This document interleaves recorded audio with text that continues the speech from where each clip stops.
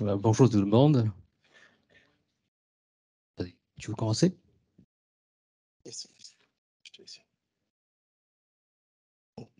Bonjour tout le monde. Nous sommes très heureux d'être euh, là pour partager ce moment avec vous. C'est difficile de passer sur ce créneau parce qu'on sait que c'est l'heure de la pause déj. Et surtout après Hugging Face, c'est un gros challenge. Mais rassurez-vous, on va le relever. Euh, donc, je vous présente euh, Arjun Chatterjee, qui est le CTO de notre plateforme. Euh, premier point que je souhaite clarifier, c'est le nom de notre plateforme. je sais que pas mal de personnes se posent la question à chaque fois. Comment on la prononce? C'est Wiser et pas YZR. Bonjour, merci. Et je vous présente Jean-Daniel Zoro, qui vient de nous rejoindre en tant que Deputy CTO. Alors, euh, Arjun, lorsqu'on a parlé de, des Summer Days de BPI France, ne me demande pas pourquoi, je me suis dit que j'allais préparer un ensemble de questions pour toi. Et du coup, la première question que j'ai pour toi, Arjun, c'est qu'est-ce que c'est que Wiser ah, bah, euh, Tu attendais ce jour-là pour poser ces questions? Ne me demande pas pourquoi. Pas de souci, pas de souci. J'ai encore. Euh, donc, Wiser, c'est une euh, boîte tech dans le domaine de data. Nous avons trois valeurs principales l'inclusivité, la diversité et la pugnacité. Un petit exemple de diversité. Je suis d'origine indienne et Zoro d'origine Côte d'Ivoire. Comme je disais, Wiser, c'est une boîte euh, tech et nous utilisons l'intelligence artificielle pour normaliser vos données. Notre objectif principal, c'est de vous faire gagner de temps et euh, de vous permettre d'exploiter la totalité et au moins la majorité de vos données. Aujourd'hui, on travaille principalement avec les clients B2B et on a levé notre deuxième euh, fonds, levé de fonds, début de cette année pour 10 euh, millions. Intéressant. Et Arjun, comment tu t'es retrouvé chez Wiser du coup? Alors, dans mes euh, expériences passées, j'étais toujours confronté au problème de la qualité de données et, euh, et, je me suis retrouvé à refaire les mêmes actions plusieurs fois à chaque euh, démarrage de projet. Moi, personnellement, comment j'ai fait pour régler ce problème Pour moi, c'est de vraiment travailler sur les librairies Python qui étaient dédiées à la préparation et normalisation. Et dans ma boîte précédente, finalement, ces librairies étaient partagées avec tout le monde dans la boîte pour leur faire gagner de temps. Donc, en 2019, moi et mes trois autres cofondateurs, cofondateurs ont décidé de monter Wiser. Pourquoi? Parce qu'on sait que la data prep, c'est un problème que tout le monde euh, est confronté. Je suis persuadé que nous tous ici, on a ce même problématique et pain point. Deuxième, on sait que sans la donnée de bonne qualité, on ne peut pas travailler sur des solutions innovantes. Et troisième, notre temps est beaucoup mieux passé sur, pour résoudre des problèmes que de la faire de la data prep. Incroyable. Euh, je crois ah. que effectivement, nous ne sommes pas seuls, Arjun. Tu as raison, tu as raison. Alors, je vous présente euh, Cassie. Je ne vais pas essayer de prononcer son nom je ne vais pas me tromper. Euh, elle travaille chez euh, Google en tant que Chief Decision Scientist. Et même chez Google, ils ont ce type de problématique. Elle dit que le data prep ou data wrangling, c'est 10% de compétences et 90% d'anger management. Pourquoi? Un exemple, dans leur dataset, ils ont trouvé 50 façons différentes d'écrire Philadelphia. Et alors, Wiser était créé pour répondre à ce 90% d'anger management. Incroyable, incroyable. Du coup, dis-nous un peu plus sur notre produit, sur Wiser. Alors, notre produit euh, est à trois composants. Le premier, c'est une API qui est destinée pour les ingénieurs et les scientists, pour euh, consumer nos services de normalisation. Deuxième, c'est une interface utilisateur pour les experts métiers, pour pouvoir configurer notre IA, notre API, pour valider les questions qu'on va leur poser quand notre IA ne connaît pas la réponse. Et troisième, c'est pour euh, monitorer la normalisation qui se passe en temps réel. Et la troisième, évidemment, c'est l'IA, la couche IA, qui comprend comment euh, normaliser les données textuelles. Ça a l'air cool. Mais je pense que je ne suis pas le seul dans la salle à vouloir savoir ce qui se cache en dessous du capot du composant IA. Est-ce que tu peux nous faire un, petit deep dive euh, sur ce composant, s'il te plaît Ah, tu as vraiment attendu jusqu'à aujourd'hui pour poser ces questions. Alors, les couches différentes, euh, je vais vous expliquer et j'ai pris un exemple euh, de un de nos notre premier client, Monoprix, pour vraiment le rendre un peu plus concret. Alors, on travaille sur les données textuelles. La première étape qu'on essaie de faire, c'est la standardisation. Dans la standardisation, on est à la recherche pour les variations dans la donnée. C'est quoi une variante? Une variante, c'est un objet écrit, le même objet écrit en façon différente.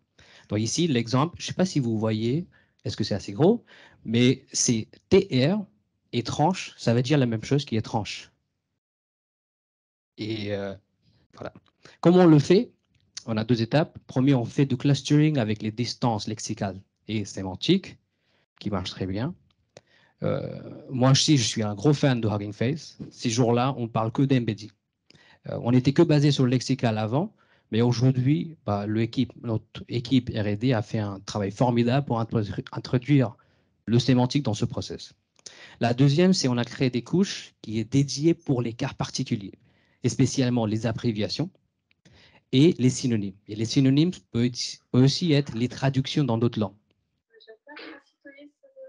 Le prochain étape, c'est le labeling. Dans le labeling, on veut structurer les informations pertinentes pour euh, soit les analyses, soit les algos pour apprendre. Donc, par exemple ici, qu'est-ce qu'on veut sortir ou parce qu'on veut identifier que on mentionne les types d'informations, format, type de viande, s'il y a une étiquette de santé et la quantité. Et ici, on identifie que deux tranches, c'est le format, jambon et rôti de porc, c'est le type de viande, bio, étiquette health, et plus un gratuit et 80G, c'est la quantité. Euh, comment on le fait? C'est on, on, a développé pour les labels, pour certains labels, un type de pattern detection automatique où il n'y a pas beaucoup de textuel. Par exemple, format et quantité, il n'y a pas de textuel. Et pour tout ce qui est vraiment textuel, c'est des couches de named entity recognition. Par exemple, type de viande, et bio. La dernière étape, c'est matching, c'est le regroupage des produits dans les familles cohérentes. Comment on le fait? Soit le client, il a déjà des groupes prédéfinis, donc on suit un euh, processus de classification. Si le client n'a pas des groupes, ben là, on va réutiliser les mêmes couches de clustering pour créer des groupes de produits. Et après, le but, c'est de pouvoir les euh, de trouver les distances pour pouvoir les couper. Ok, ça a l'air très clair. Est-ce que tu as d'autres exemples justement pour illustrer ce composant hier Bien sûr. Donc là, je vais vous montrer un petit exemple. Donc les trois lignes ici, c'est des produits de maquillage. C'est pas évident, mais les trois lignes, ils parlent du même produit. C'est le produit mentionné en, à droite en haut. Et si on analyse mot par mot, euh, où on a trouvé cet exemple, c'est parce que notre euh, président, il travaillait chez L'Oréal et c'était un cas très, très récurrent chez L'Oréal. Et si on analyse mot par mot, le premier mot, ça veut dire démaquillant. Deuxième, waterproof. Et la troisième, c'est carrément une petite phrase qu'il faut le traiter ensemble, qui est deux en un, style démaquillant. Les deux autres produits, ils ont aussi ces éléments-là. C'est un peu plus difficile à chercher, mais ils sont là. Donc, avec la standardisation, on veut décrypter ces nomenclatures et sa façon d'écrire très spécifique au client. Et on veut, travailler sur un couche standardisée. Donc, une fois on a ça, on travaille que sur ça. Après, dans la partie matching, on veut pouvoir rapprocher. Donc ici, on veut savoir est-ce que ces trois éléments sont proches, au loin, même famille, etc. C'est beaucoup plus difficile si on n'avait pas standardisé. C'est faisable, on le fait pour certains clients parce que les, tous les étapes, on n'est pas obligé à les impliquer, mais si on le fait, les résultats euh, sont mieux et, mieux et mieux. Et donc ici, évidemment, c'est beaucoup plus évident de dire, ah oui, il y a des points en commun. Et donc, c'est un match. Un autre exemple, euh, c'est un, un, de nos clients, Evidencia. Qui, qui c'est Evidencia Evidencia, c'est un euh, groupe de cliniques veto. Et leur ambition, c'est de devenir le groupe le plus gros euh, en Europe. Ils ont déjà 250, plus de 250 cliniques veto en Europe. Leur problème qu'ils avaient, c'est comment créer une bonne couche de BI Analytics euh, au niveau global. Donc, avec tous les données qui viennent de ces 250 business units différents, chaque clinique.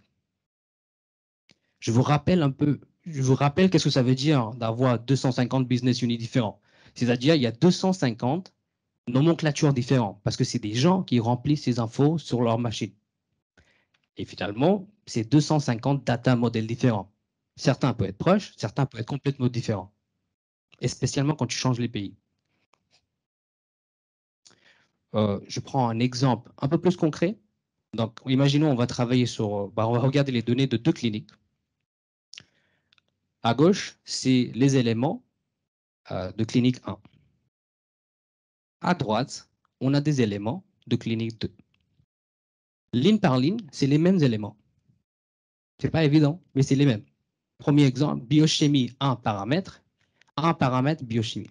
Deuxième, un peu moins évident, biochimie, paramètre supplémentaire et un paramètre en addition. Donc, on veut, première problématique, on veut pouvoir identifier, c'est la même chose. Ensuite, qu'est-ce que Evidencia veut faire? S'ils veulent aussi regrouper, euh, par exemple, les actes médicaux ou séparer l'analyse sur les actes médicaux et les examens laboratoires.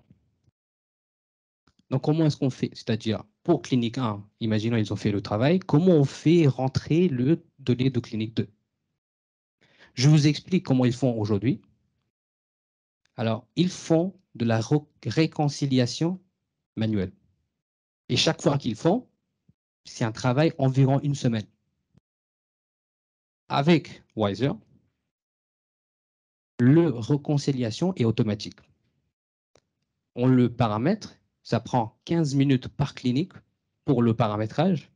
Et là, ça devient automatique. On le pousse dans leur BI et finalement, ils ont de données ou d'analytics au niveau global.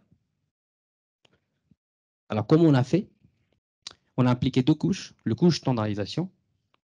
Si j'ai quatre exemples qui viennent de quatre cliniques différents, on veut savoir est-ce que ça va dire la même chose. Ensuite, on veut pouvoir aussi les regrouper. Donc là, on a quatre exemples qui sont regroupés dans la même famille. C'est impressionnant. On peut voir que du coup, il y a du multi, la gestion du multilangage. Évidemment. Pas mal. Parce que ils ont des cliniques partout. Et donc, la multilangue, ça fait partie. C'est, pour nous, c'est une variation, le langage différent. OK. Merci pour ces exemples. Et juste avant, si je rajoute, c'est quoi les valeurs ajoutées? Parce que évidemment, c'est pas mal, mais pour évidencer quelles sont les valeurs ajoutées. Évidemment, c'est le temps sauvé. Aujourd'hui, bah, avec Wiser, et chaque fois qu'on s'intègre dans chaque euh, clinique, le temps passé par ce clinique, c'est zéro, pour faire rentrer leurs données locales avec leur data model nomenclature locale au global, c'est zéro. Et le temps passé global pour intégrer un nouveau clinique avec un an de données, c'est 15 minutes. Mais ce n'est pas que le temps, c'est aussi l'argent sauvé.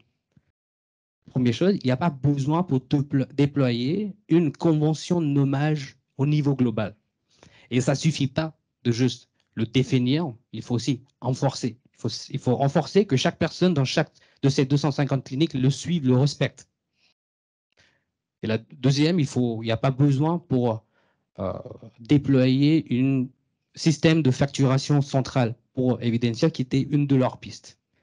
Troisième, qui est un peu, je pense, le plus important, chaque personne chez Evidencia, ils n'ont pas besoin de changer ou changer leur manière actuelle. Et finalement, aujourd'hui, leurs analytics sont encore plus précises avec la totalité de données. Merci pour ces exemples, Arjun.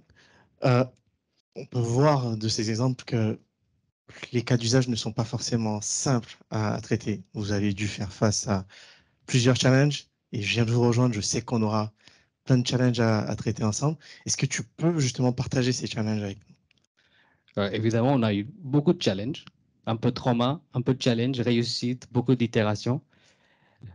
Euh, si je vous donne quelques exemples, le premier, le plus évident, c'est comme on travaille sur les données textuelles, on utilise le NLP, que Hugging Face a très bien expliqué qu'est-ce que c'était. Euh, donc là-bas, on avait pas mal de difficultés. Premier, comme le niveau de données sur lequel on travaille ne sont pas d'auto-clean. Je vous donne un exemple. Pour notre premier client Monoprix, euh, on devait commencer à travailler, mais j'étais impatient. Ça, je pense qu'il fallait attendre deux semaines, mais j'étais impatient, je voulais commencer tout de suite.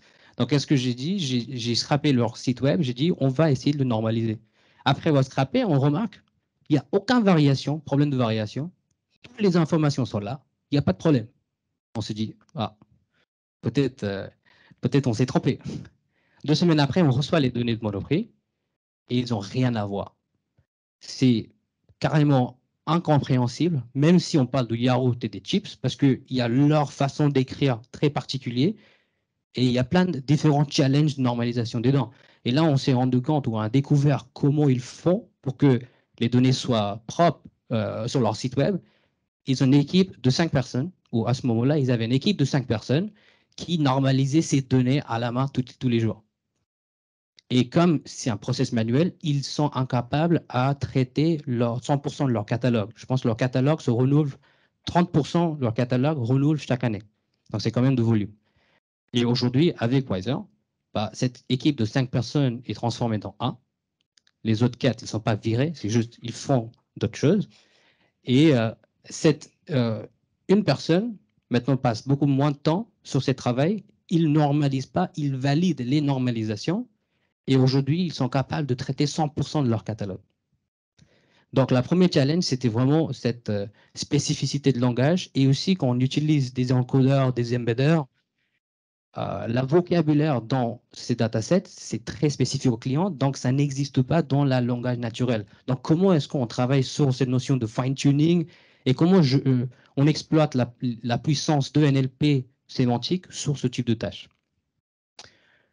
Deuxième, euh, les cas particuliers, par exemple abréviation ou traduction. Abréviation, c'est des, des, gros mots qui étaient abréviés en deux à trois caractères. Ça a l'air négligeable comme mot, mais en fait, c'est les mots avec les plus gros poids. Donc, comment est-ce qu'on identifie les bons poids pour ces mots-là? C'était un gros challenge. La traduction, c'est si j'en ai un dataset en français et je dois le traduire en, anglais ou allemand en français, bah, la traduction, il a plusieurs types de réponses.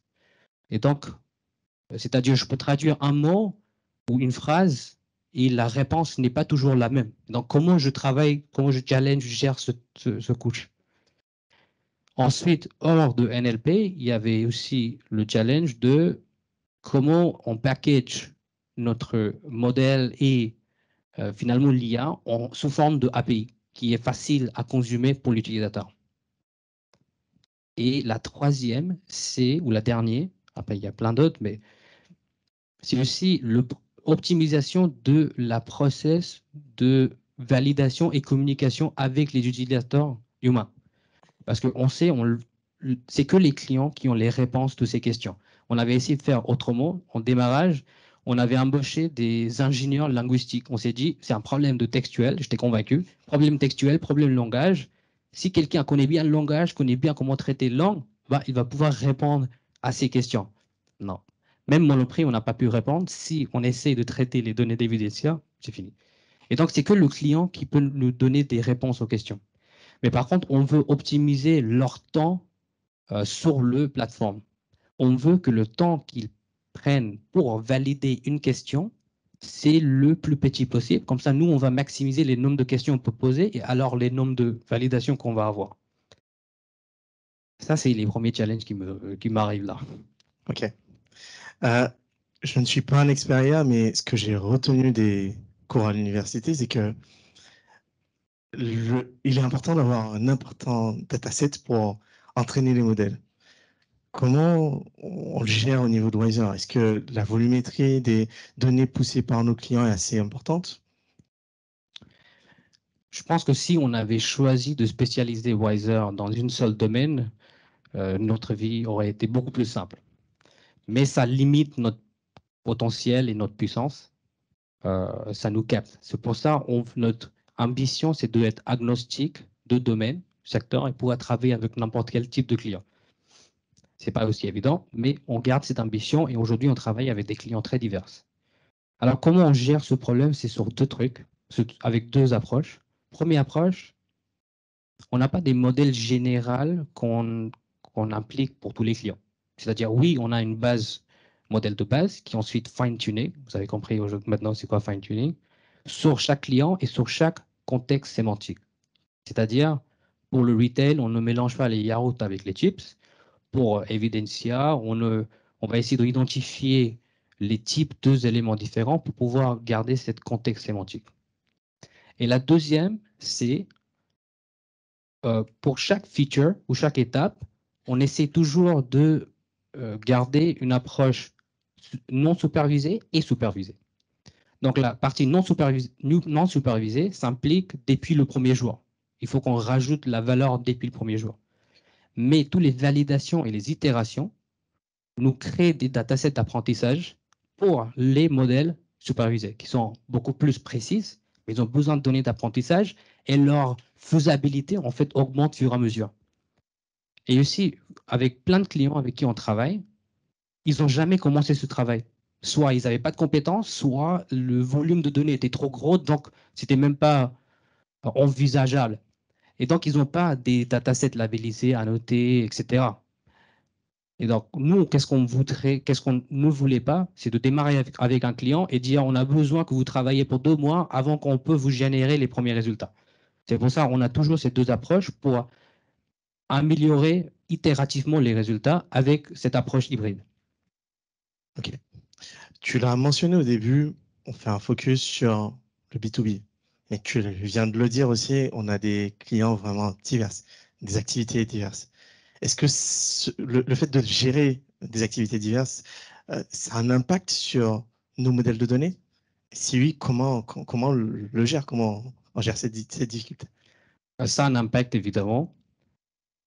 Euh, comment on essaie de toujours réfléchir? Donc, dans notre philosophie, c'est que Wiser, on se focus sur la normalisation de données et on se focus sur les approches textuelles. Et donc, même si on a des clients de secteurs différents, on n'essaye pas de créer des produits euh, custom par secteur. Évidemment, il y a des euh, exceptions, mais au moins, ça, on, on le garde vraiment dans la philosophie. Donc, comme j'ai dit, on entraîne toujours sur chaque client. On n'implique pas un modèle de base. On essaie toujours de faire du fine-tuning et on a des modèles non supervisés. Donc, ça se fait sur chaque contexte sémantique qui a un avantage et un désavantage. L'avantage, c'est que on ne va pas ramener, entre guillemets, le jugement ou qu'est-ce que j'ai appris de client A vers client B où c'est pas pertinent. Et le et désavantage, c'est que bah, j'ai moins de données sur lesquelles j'apprends parce que je ne merge pas tout pour avoir un gros dataset d'apprentissage et donc j'en ai moins. Euh, c'est un effort continu de notre équipe R&D. C'est comment est-ce qu'on travaille sur les modèles aujourd'hui qui sont lourds et qui ont besoin beaucoup de données d'apprentissage. Pour soi, il a, qu'il a besoin de moins de données ou euh, ou vraiment travailler sur l'aspect non supervisé et cet aspect itératif pour que je peux fournir des résultats qui sont euh, relativement bons pour que le travail commence depuis jour 1. Évidemment, par exemple, je ne vais pas pouvoir faire le travail sur 100% de leur catalogue, mais même 30%, 40%, 50%, c'est beaucoup mieux qu'avant, ils avaient 0%. Et donc, je commence itérativement et je utilise chaque itération pour améliorer l'itération suivante. OK. Et concrètement, comment nos clients intègrent Wiser dans leur architecture? Donc, comme on a toujours bah, ces trois composants, pendant le phase de initialisation de, setup, Généralement, les clients, ils, utilisent principalement UI pour charger les données, pour faire, pour voir les résultats, pour voir les simulations, pour valider, pour télécharger les résultats. Ensuite, sur la phase de run, ça passe sur le API, euh, où les API sont intégrés chez eux dans leur ETL, leur travail real-time. Et, euh, et à partir d'API, ils normalisent en temps réel. Ensuite, la logique chez nous, c'est que pour chaque tâche de normalisation, on a toujours un taux, de confiance. Si le taux de confiance est assez euh, élevé, on fait l'action, on, normalise. Si on n'a pas assez de confiance, en fait, on va pusher, euh, on va pas normaliser tout de suite, plutôt pusher cette action de normalisation comme une validation sur le UI. OK. Dernière question, et puis après, je t'embête plus. Notre solution actuellement, elle est, est-ce qu'elle est full cloud? Est-ce qu'on a prévu de la déployer on-premise chez, dans les clouds privés? Aujourd'hui, on est, on est full cloud. Euh, on, va, on est full cloud, c'est-à-dire le UI est hosté chez nous, le API est hosté chez nous. Ça facilite la façon que les clients peuvent démarrer. Et aussi, jusqu'à aujourd'hui, on travaille que avec les données non sensibles. Donc, en termes de euh, contrôle de sécurité, ça passe. Mais notre ambition, c'est aussi de travailler avec les données sensibles, parce que ça va ouvrir un énorme marché. Par exemple, avec Evidencia, même si c'est de médical, on a pu travailler parce que c'est sur des animaux. Mais médical pour les humains, c'est rien à voir. Et là, il faut bah, avoir soit des solutions. En fait, non, il faut avoir des solutions en premise. C'est tout. Donc, on a, on a ça dans le roadmap et on a déjà commencé. C'est-à-dire, euh, on est bientôt aussi, pas déjà, on va déjà, on va être disponible sur les marketplaces de AWS et Azure. Et fun fact, on a, on a essayé de faire Google, mais apparemment, il faut d'abord dépenser minimum de 100 000 euros avant d'être présent sur leur marketplace. 100K Ouais, 100K. Donc ça va attendre. On va être là, mais ça va attendre. Et le, but sur ça, c'est qu'on va être déjà présent sur le marketplace. Ensuite, on commence à déployer pas la totalité de la solution, mais une grosse partie de la solution ou une majorité de la solution. Pour, le but, c'est de accélérer, optimiser la procédure de normalisation. Et fur et à mesure, on va, on veut pouvoir déployer la stack totale, le stack complète chez le client. Mais c'est dans le roadmap de l'année prochaine. OK. Merci Arjun pour ce partage. On va prendre des questions dans la salle si on a. Je sens que les questions, être pour toi. Qu'est-ce que tu en penses? Pourquoi pas? En tout cas, votre, votre duo, vous avez, un, vous avez un show à monter là. Merci. C'était le meilleur show qu'on a eu euh, dans la matinée. Très, très fluide, très bien. Bravo. Vous êtes entraîné avant? Ça, ça se voit, on l'a pas trop entraîné. Euh, on l'a répété une ou deux fois, on n'avait pas eu beaucoup de temps. C'est pour ça cette format nous. C'était. On a la chance que tu avais des questions à poser. On n'avait pas autant de slides. Super. Moi, je démarre par une première question. C'est quoi la plateforme? Parce que vous avez parlé de data science, vous avez parlé des modèles que vous utilisez, vous utilisez des modèles de NER, etc. Mais quelle est l'offre de la plateforme concrètement? Je vais poser la question autrement. Qui est votre compétiteur? J'essaie de répondre. Alors, concrètement, la plateforme, c'est une plateforme de, on va dire, data prep avec de l'intelligence artificielle. Euh, sur le marché, en termes de compétiteurs, il y a des outils de data prep qui existent, qui font manuellement. Je peux citer par exemple DataIQ. Mais ce que nous, on apporte, c'est vraiment ces algos d'intelligence artificielle qui permettent à nos utilisateurs d'aller plus vite, de gagner plus de temps et surtout de mettre à disposition notre plateforme à des utilisateurs euh, métiers, métiers qui connaissent leur business. Parce que ce qu'on peut constater, c'est que même s'il y a l'outillage qui permet aux data scientists, aux data engineers de faire ce, cette data prep, ce nettoyage de la donnée, à un moment donné, ils sont obligés de se tourner vers le business pour avoir un peu le contexte, cette validation. Alors que là, notre plateforme, elle est destinée directement. Avec votre produit, le client est autonome. Il n'a pas besoin de vous. Vous intervenez pas derrière pour, euh, avec un data scientist, euh, comme le projet de Monoprix, etc. C'est un produit que vous vendez. Oui, c'est un produit qu'on vend. Donc le client devient autonome dessus.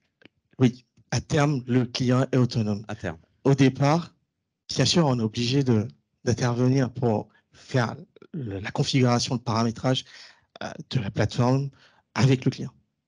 Donc, on démarre, le client, il démarre, il cherche ses données, euh, il crée, il démarre par la normalisation, donc il va créer des, on va dire ce qu'on appelle des catégories, il va essayer de classer ses données, et on est là pour l'accompagner dans chaque, chaque projet a ses propres datasets, exactement, a ses propres labellisations, exactement. pour chaque projet, vous devez configurer? Non, le client est autonome, mais on se met à disposition pour pouvoir l'accompagner si besoin.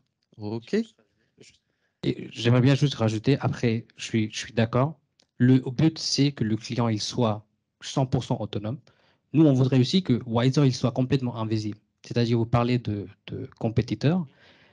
On a, donc, premier, juste pour clarifier notre ambition, on n'est pas une, on n'est pas, par exemple, euh, compétiteur de Tataiku, on n'est pas une process de euh, OTL. Nous, on veut faire la normalisation.